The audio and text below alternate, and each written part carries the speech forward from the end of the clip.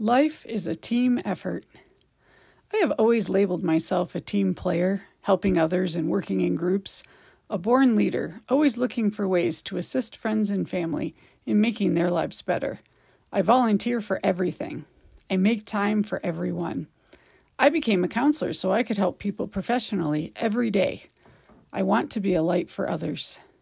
But one day, the switch was flipped. My light went out. I was the one in need of help and I resisted it. I am strong and independent. I was too ashamed to ask for help. I would consider this a weak move. I could figure it out on my own. I had the skills to do this. I just needed to find the answer. Being vulnerable is what I worked on with clients, but now I needed to be vulnerable. An internal conflict bubbled out of me. How could I help others if I was not capable of helping myself? At 45, I found myself in a situation I had never been in.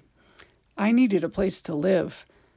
I had always owned a home, but now needed to sell the one I was in. My two adolescent sons, two giant dogs, Fluffy Cat, and I were about to become homeless in Salida, where prices were going up and availability was going down.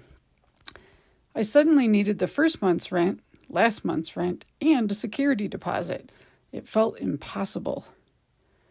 I realized this was more than I was capable of. Starring in my one woman show was no longer an option. If this move was going to happen, I needed to reach out. I needed my tribe.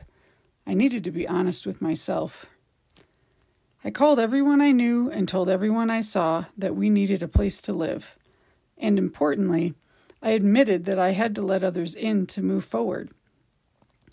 I recognized who was in my corner and I finally understood who could help me during my struggle others. Surprisingly, life's bumpy road had led me to a new light.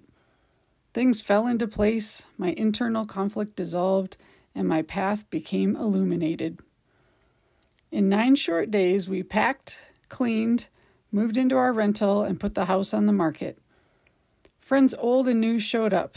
Community members went the extra mile and new housing programs suddenly became available. The impossible became possible.